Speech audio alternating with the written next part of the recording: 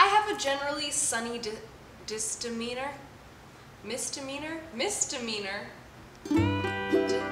Disdemeanor. I've lost it. I'm a generally sunny person. and, or at least that's what you guys see because I don't usually come to film in like a really tragic mood.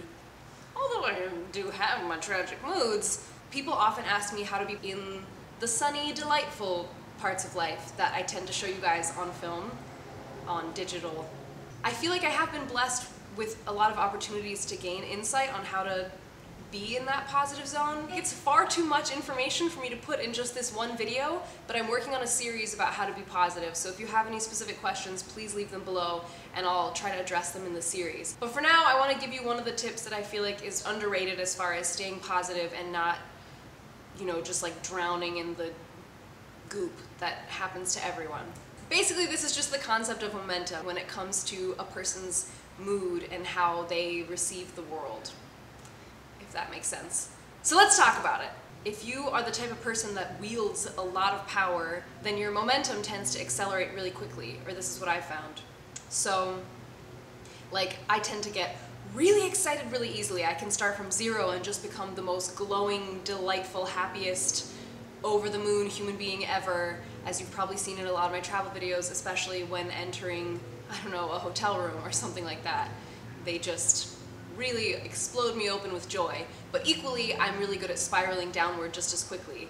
And so when I'm saying momentum, I mean like it starts from one thing and that builds and builds and builds and it's so much easier to go either in the direction of happy or in the direction of sad or in the direction of angry or whatever emotion you're sort of feeling.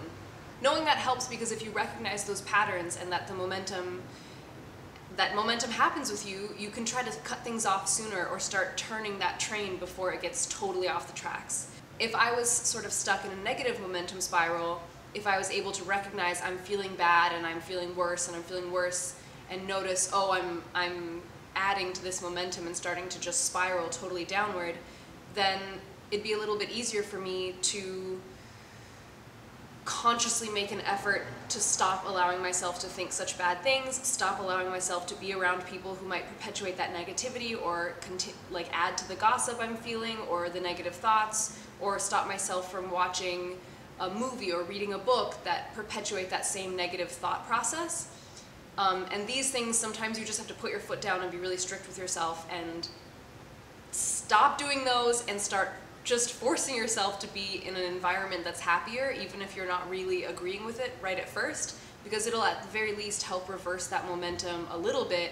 And from there, you'll feel a little bit better. And once you're a little bit better, you can get a little better. And then slowly the momentum will go in the other direction. And it's fantastic.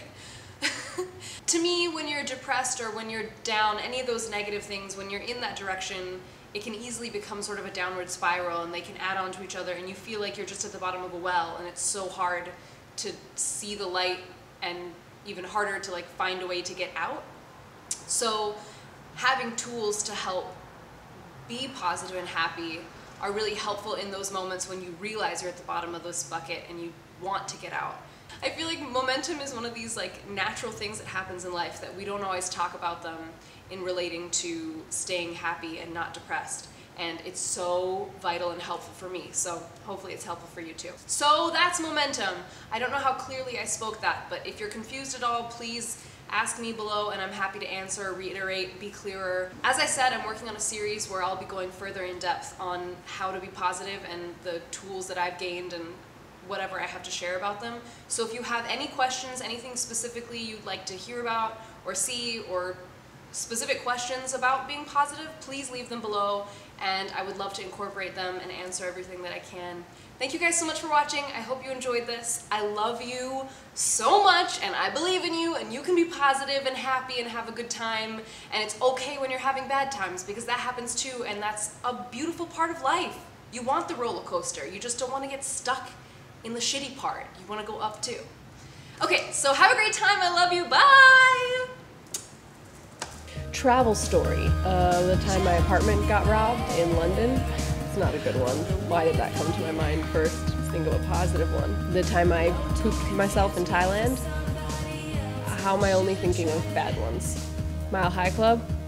Also, kind of a bad one. I love you. That was the creepiest voice I've ever heard in my life.